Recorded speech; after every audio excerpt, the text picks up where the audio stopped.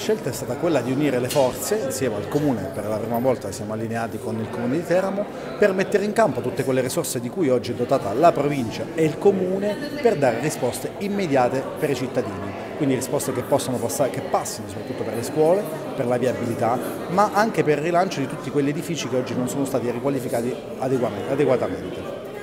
Ora quindi la provincia ha scelto di prendere posizione? Sì, ha scelto di prendere una posizione non solo a favore di Gian Guido D'Alberto ma eh, principalmente per dare a Gian Guido D'Alberto un contributo attraverso le persone candidate che sono motivate, motivate l'hanno fatto liberamente a sostegno di questa lista e che possono dare un contributo professionale umano di idee e per eh, velocizzare tutti quei processi che eh, oggi i cittadini naturalmente chiedono perché quando si parla di fondi e di finanziamenti che sono in pancia agli enti rimangono cifre che le persone, i cittadini non comprendono appieno e devono essere tradotte immediatamente in opere. Una lista fatta principalmente di donne e di giovani, di professionisti, di persone che hanno qualifiche e qualità eterogenee, molto eterogenee, ma che soprattutto hanno apportato anche nel programma dei, dei punti principali, quelli del, dell'ospedale, quelli della viabilità, quelli della rigenerazione urbana, hanno portato tante risorse in termini di contributi